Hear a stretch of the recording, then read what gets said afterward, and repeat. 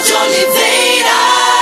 Lideranças estaduais do PDT sonham com a volta do prefeito do Eusébio Acilon Gonçalves aos quadros do partido. O ex-presidenciável Ciro Gomes tem conversado com Acilon Gonçalves, que em 2022 comandou o palanque de reeleição do presidente Jair Bolsonaro no Ceará, mas anda descontente com o PL após perder o controle regional do partido para o deputado federal André Fernandes. Nós ainda estamos em ritmo de carnaval, mas a política está na agenda de muitos dirigentes partidários, como é o caso dessa pauta pré-eleitoral e também dessas articulações políticas. Quem chega com mais informações agora sobre essa movimentação do ex-presidenciável Ciro Gomes é o repórter Carlos Alberto. As informações dos bastidores políticos dão conta de que o ex-presidenciável Ciro Gomes tem aprofundado conversa com o ex-presidente regional do PL e prefeito do município de Eusébio, Acilon Gonçalves, para tentar levá-lo para o PDT.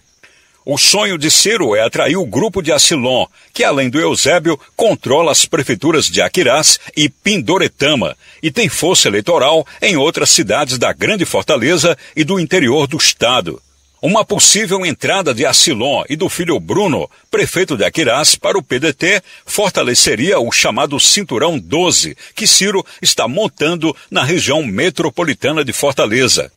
A estratégia é fortalecer a candidatura à reeleição do prefeito José Sarto e dar musculatura ao PDT na Grande Fortaleza.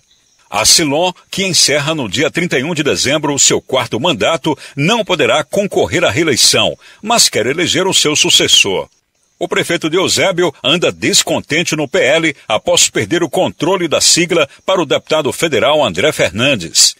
Em 2022, a Silon comandou o palanque do então presidente Jair Bolsonaro no Ceará. Apoiou a candidatura do capitão Wagner ao governo do estado e se distanciou do grupo liderado pelo atual ministro da Educação, Camilo Santana.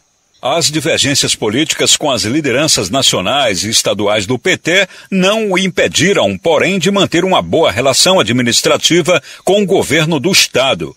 A raposa política, com mais de 30 anos no exercício de mandatos no Legislativo e no Executivo, a Silon fez os cálculos sobre os riscos de uma decisão que pode deixá-lo na oposição ao Palácio da Abolição, mas nos braços do ex-presidenciável Ciro Gomes, com quem sempre manteve um bom diálogo.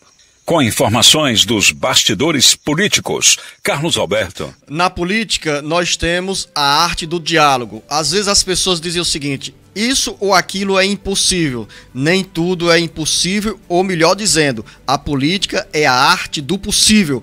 Essas conversas entre o presidenciável Ciro Gomes, entre o ex-prefeito de Fortaleza Roberto Cláudio, o prefeito José Sarto, com o grupo do, do prefeito de Eusébio Acilon Gonçalves, existem, tem bate-papo, tem conversa, tem articulações. Afinal, tem uma identidade histórica entre Acilon Gonçalves e Ciro Gomes. Daí surgir nos bastidores políticos essas informações sobre a retomada de conversas ou a abertura dessas articulações no propósito de Ciro Gomes trazer a Silon de volta para o PDT. Claro que a Silon avalia todas as vertentes de uma mudança.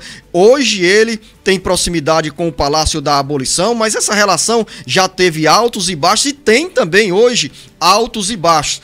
Hoje, o, o grupo liderado pelo ministro da Educação, Camilo Santana, tem candidato à prefeitura de Aquirás, tem candidato à prefeitura de Eusébio. Nesse momento, em planos conflitantes, mas no dinamismo da política pode haver um reagrupamento ou mesmo esse caminho de Acilon para o PDT. O que é que existe de concreto nas conversas de bastidores, à mesa, a, no café da manhã, no almoço, no jantar, sobre o que nós estamos chamando de Cinturão 12, que Ciro está montando na região metropolitana de Fortaleza, e nesse caso, Eusébio e Aquirás entram como municípios estratégicos nessa reestruturação do PDT.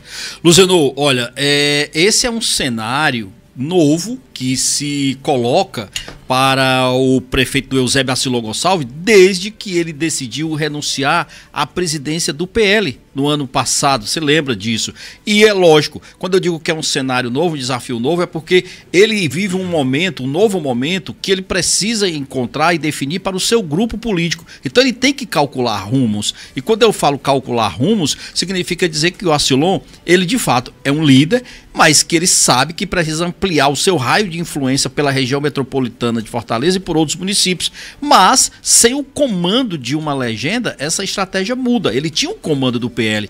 No comando do PL, isso significava uma outra forma de ele interagir, de ele exercer essa influência e o seu protagonismo. Então, como isso, ele, ele disse, inclusive, na ocasião, que não iria deixar o PL. Claro, e até hoje ele se mantém no PL, mas agora o cenário é outro. Tem essa nova questão colocada, que são essas articulações políticas feitas pelo ex-ministro e presidenciável Ciro Gomes, que tenta exatamente reposicionar o PDT no estado do Ceará, depois daquele racha, da dissidência com o próprio irmão Cid e com os demais que estão deixando o PDT. Então Ciro quer atrair, sim, lideranças fortes com um papel de influência no raio da região metropolitana de Fortaleza, dentro daquela conversa que a gente já teve, que nossos ouvintes é, é, sabem, que é exatamente reforçar, inclusive, aqui a reeleição do prefeito Sarto. Quando você tem um número de candidatos é, em municípios estratégicos no entorno de Fortaleza,